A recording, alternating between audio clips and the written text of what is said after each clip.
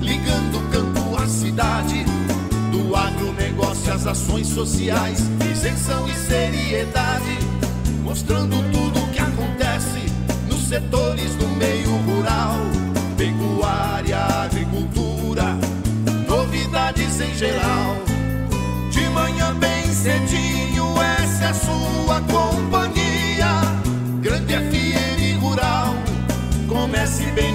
seu dia. De manhã bem cedinho, essa é a sua companhia. Grande FM Rural, comece bem o seu dia. Apresentação: Cícero Faria. Bom dia, produtores rurais, bom dia, ouvintes da 92. Estamos chegando com o programa desta quarta-feira, dia 14 de setembro, levando para vocês os seguintes destaques.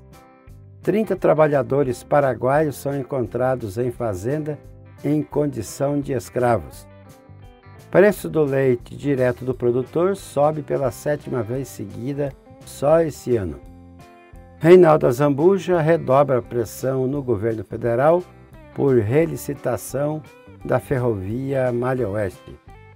Crédito rural no estado é 49,9% superior que em 2021.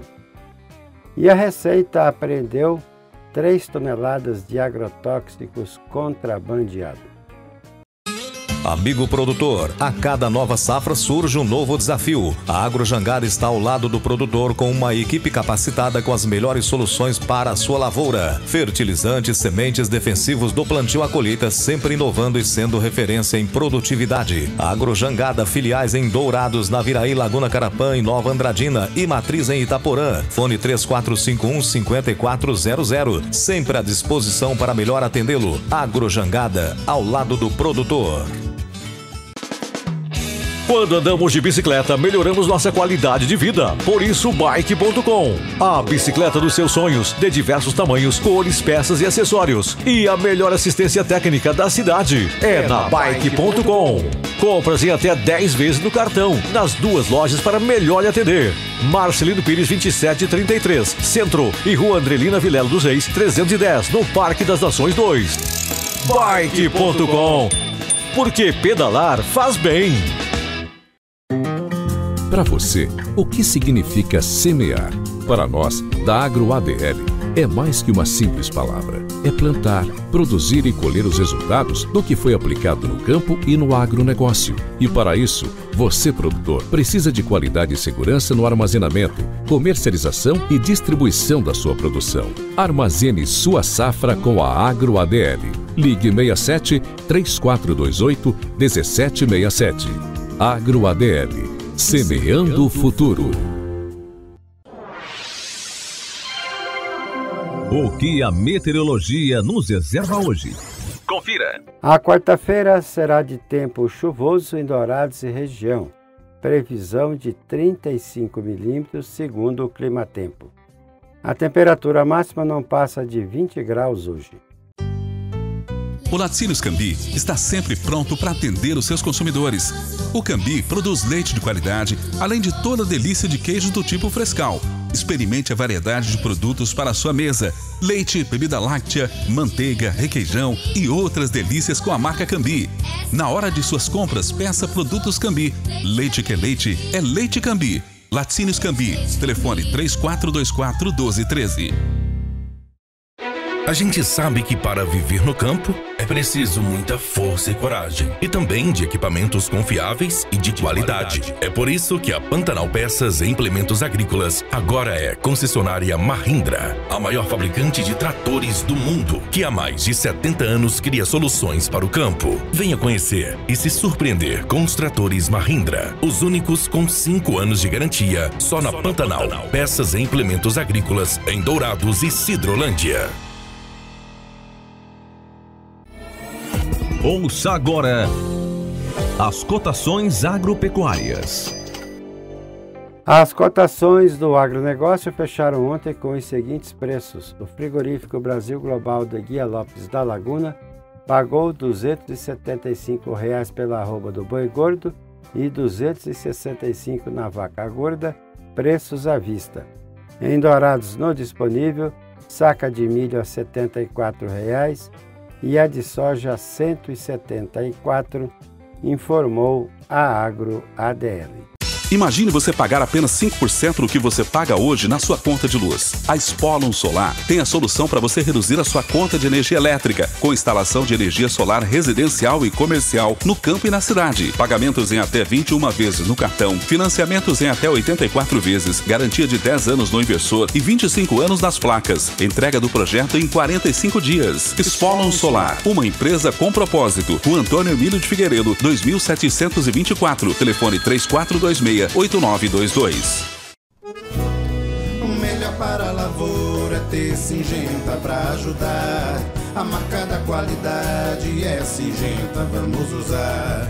Proteção para o cultivo, tranquilidade no colher. Singenta é lucro certo que a Comide traz pra você. Proteja o seu cultivo prevenindo e curando doenças. Deixe sua lavoura muito mais vigorosa. Comide representa Singenta para Dourados e região. A marca da lucratividade da sua lavoura. Produtor amigo, não duvide. Pensou Singenta, procure a Comide. Consulte um agrônomo. As notícias do campo estão chegando para deixar você bem informado. O setor agropecuário do estado de São Paulo criou 7.547 vagas de trabalho com carteira assinada em julho, de acordo com dados mais recentes do Cadastro Geral de Empregados e Desempregados do CAGED no Ministério do Trabalho. Foram 36.517 contratações e 28.970 demissões. O resultado é decorrente principalmente dos saldos positivos das atividades ligadas ao cultivo de laranja, 2.551 empregos, e ao de soja, com 957.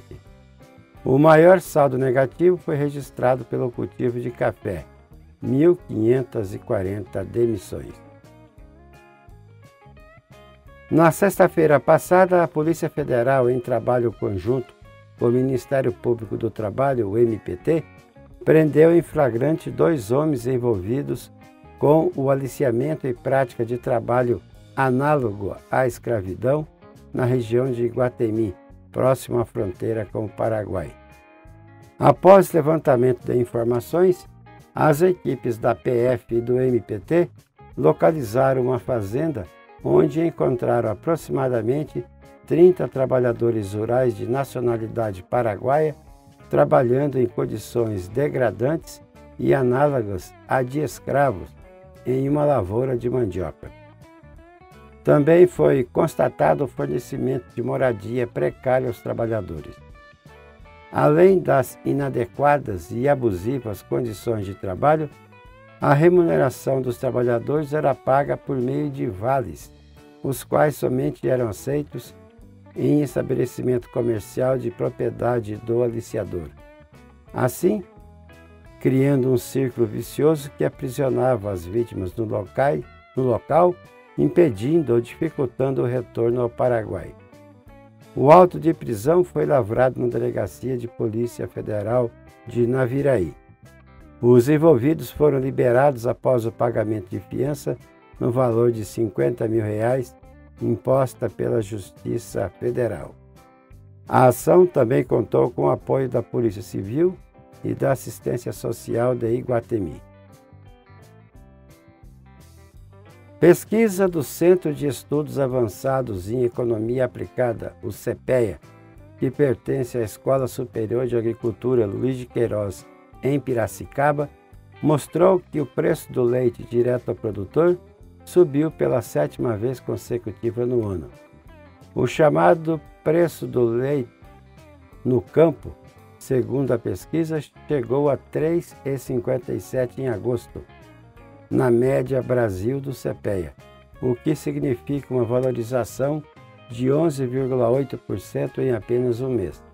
No ano, a alta acumulada é de 60,7%. A pesquisa apontou ainda que o movimento de alta deve ser interrompido com possibilidade de forte queda no preço do leite a ser pago ao produtor em setembro, referente ao leite captado em agosto. O CPEA destacou que o encarecimento do leite no campo ao longo dos últimos meses se deve à baixa oferta do produto. O governador Reinaldo Azambuja afirmou na segunda-feira que a pressão pela relicitação das ferrovias ligadas à Malha Oeste foi redobrada. A Zambuja foi taxativo ao informar de que, a, de que está à espera do lado prático do discurso que o ministro da Infraestrutura, Marcelo Sampaio, fez quando veio ao Estado no mês passado.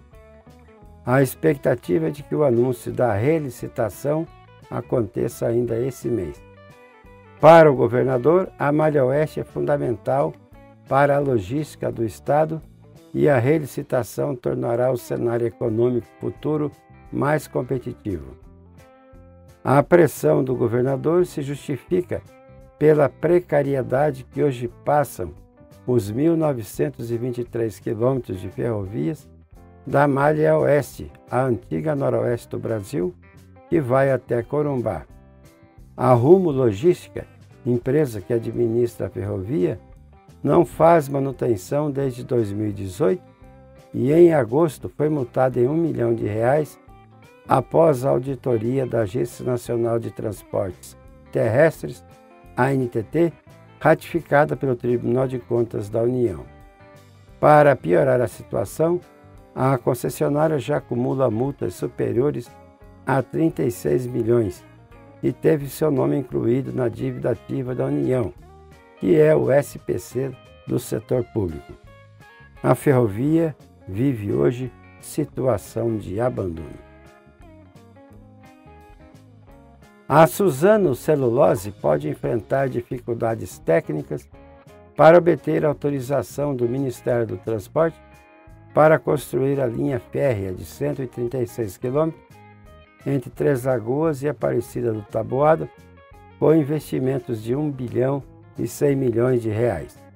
A Eldorado Celulose já assinou o contrato com a Agência Nacional de Transportes Terrestres para construir no mesmo trecho, com 88 quilômetros de malha ferroviária e investimentos previstos de 890 milhões.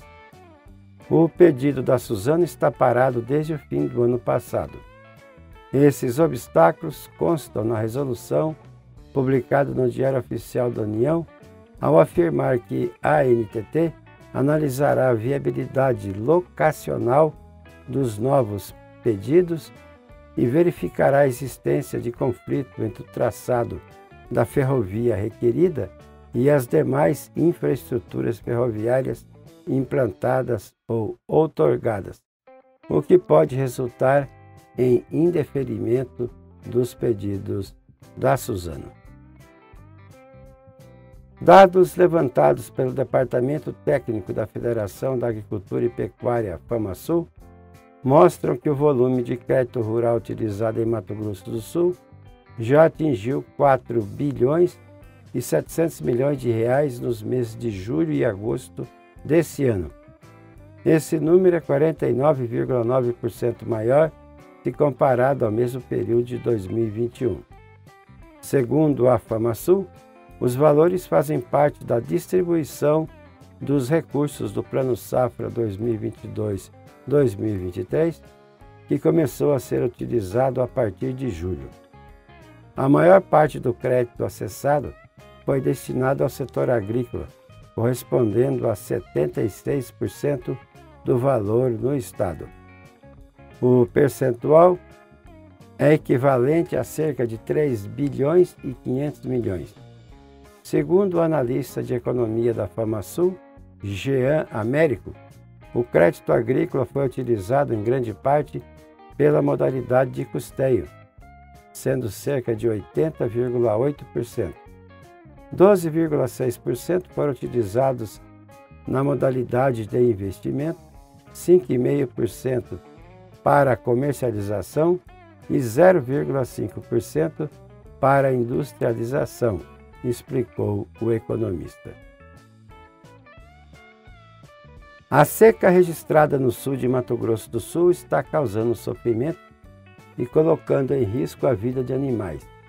Na sexta-feira passada, o corretor Hugo Tonini registrou bois e jacarés presos na lama de um açude na região do Pantanal do Nabileque, na divisa dos municípios de Porto Murtinho e Corumbá. Chove, mas é pouco e esparso. O Pantanal precisa de bastante chuva para voltar ao normal, comentou o Tonini. Caminhão com 3.150 quilos de agrotóxicos foi apreendido em Mundo Novo depois de ser abordado por servidores da Receita Federal assim que entrou em Mato Grosso do Sul. O veículo foi considerado suspeito de transporte de agrotóxicos contrabandeados por servidores da Delegacia da Receita em Cascavel, no Paraná. Assim, na noite de sexta-feira, ele foi abordado com uma carga identificada como fertilizante mineral complexo, sem identificação do fabricante e com indícios de fraude, como erros de formatação no rótulo e palavras escritas em espanhol. Além disso, o registro do Ministério da Agricultura que havia no rótulo se referia a uma empresa de São Paulo, mas que não era mencionada na embalagem. Quando os servidores realizaram o procedimento de verificação física, constataram que a mercadoria transportada tinha apresentação idêntica ao agrotóxico benzoato de hemamectina, produto frequentemente contrabandeado do Paraguai. De acordo com o motorista, a carga teria sido embarcada na cidade de Foz do Iguaçu, no Paraná, e teria como destino a cidade de Cidrolândia.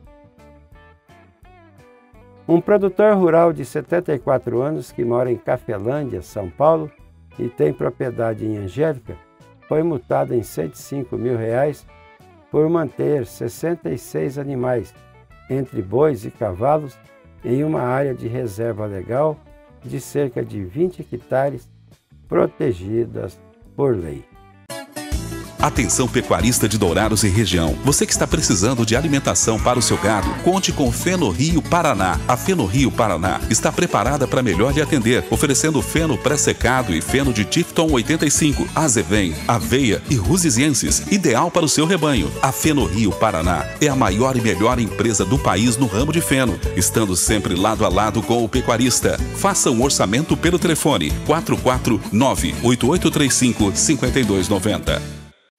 Wilton Pneus, sua melhor opção em pneus para o seu maquinário agrícola, máquinas pesadas, empilhadeiras, veículos de carga, passeio e utilitários. Somos especialistas em achar o melhor negócio para você, com excelentes condições de pagamento. Visite nossa loja na Avenida Marcelino Pires, 283, próximo ao Parque do Lago, ou ligue 34217700. Repetindo, 34217700.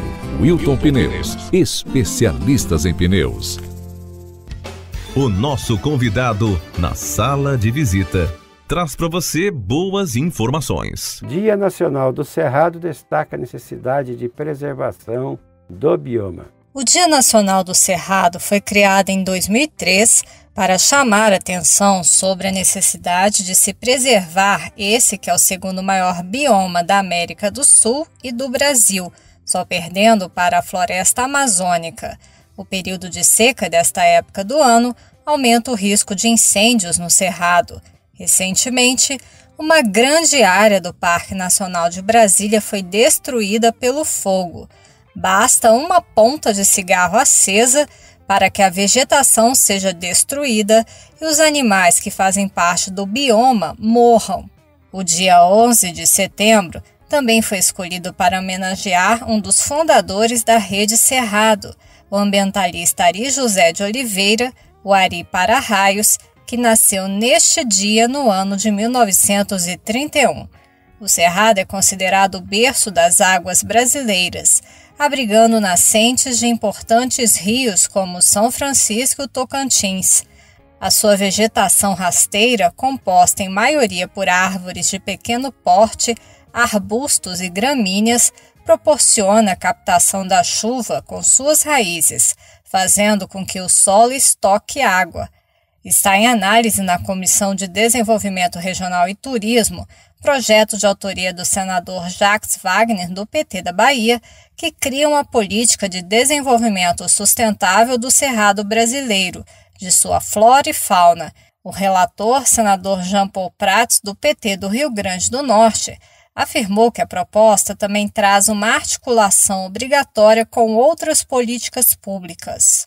Com 26 artigos, define, primeiramente, a abrangência desse bioma, do bioma cerrado, e consegue começar a estabelecer diretrizes e princípios quanto à sua conservação, proteção, regeneração, utilização, políticas de desenvolvimento sustentável, traz a articulação obrigatória com outras políticas públicas, porque é importante pensar meio ambiente não apenas do ponto de vista ambiental, mas também de outras dimensões, inclusive como a educação, é, a infraestrutura, é? várias outras políticas públicas importantes, mormente as sociais. Considerado a savana brasileira, o Cerrado abriga uma das maiores biodiversidades do mundo, com mais de 6 mil espécies de árvores e 800 espécies de aves.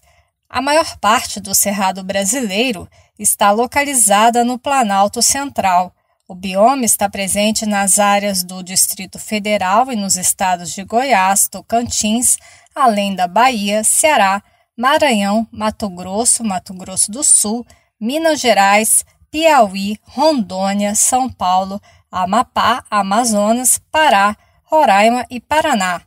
Da Rádio Senado, Regina Pinheiro. Qualidade, garantia e eficiência na retífica de motores a álcool, diesel e gasolina você encontra na Retificadora MS. Profissionais altamente capacitados em retífica de motores em geral, regulagem de bombas e bicos injetores. Dê vida nova ao motor do seu veículo. Vá direto à Retificadora MS. Retificadora MS em Dourados. Na Weimar Torres 5710. Telefone 3424 7698. 3424 7698 que se planta dá nessa terra perde o regado a suor que recebe a semente sempre a melhor Semem barra é garantia do plantio até colher a produção com gente que conhece e sabe cuidar do seu chão Sementes fertilizantes, defensivos agrícolas, soluções para a agricultura tem na Semen Barra. Distribuidor exclusivo Sementes Agroséries. Lojas em Dourados, fone 3489 1248 e em Carapó 3453 1133. E assim vamos encerrando o programa de hoje, agradecendo a todos pela audiência aqui na 92,1. E marcamos o novo encontro amanhã, depois do horário político, se Deus quiser. Bom dia, Dourados. Bom dia, região.